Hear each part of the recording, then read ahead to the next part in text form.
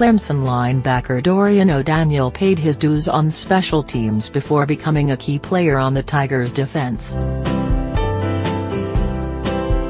Most of the talk surrounding Clemson players in the NFL draft this offseason was about how perceived high-round picks Christian Wilkins, Clelin Ferrell, Austin Bryant, and Mitch Hyatt skipped the draft to return to school.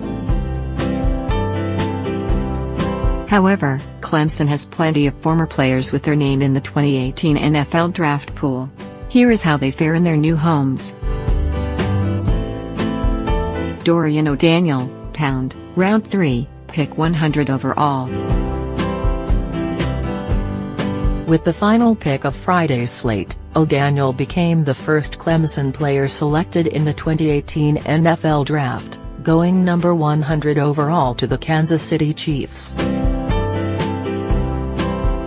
The Chiefs' talented defense took a step back in 2018, ranking 28th in the league in yards allowed per game and 15th in points allowed.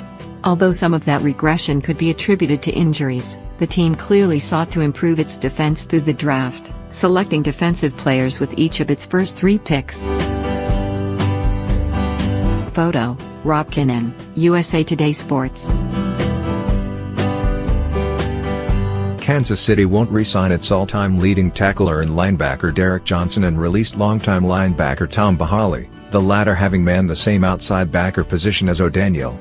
This isn't to say the Chiefs drafted the former Clemson Tiger as Hali's immediate heir. Dee Ford and All-Pro Justin Houston project as the Chiefs starting outside linebackers in their base 3-4 defense, with Reggie Ragland and either Anthony Hitchens, Kevin Pierre-Louis, or Terrance Smith manning the inside linebacker spots.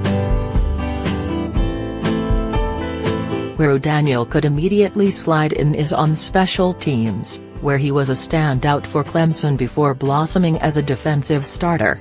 At 6'1", 223 pounds, he may need to bulk up before making an impact on defense, but it wouldn't be the first time he had to work his way onto the field.